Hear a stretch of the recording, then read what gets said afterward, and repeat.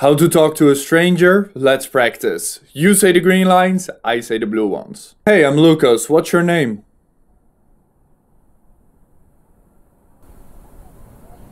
Just grabbing a coffee before class. What about you?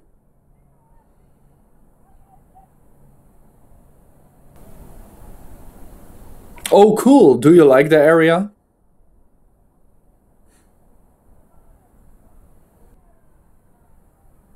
That's cool. Maybe we can grab a coffee sometime and explore the area together.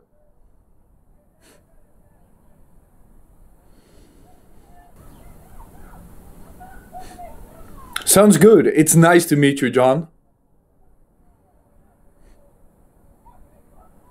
And that's a simple way to talk to a stranger. Introduce yourself, find a common interest, and connect. Now, let's check your speaking. Listen and repeat.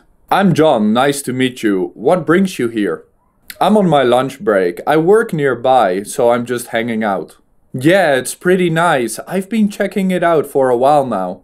Definitely, I'd like that. Let's exchange numbers and catch up soon. Nice to meet you too, Lucas. Talk to you soon. Congratulations, you just improved your English speaking.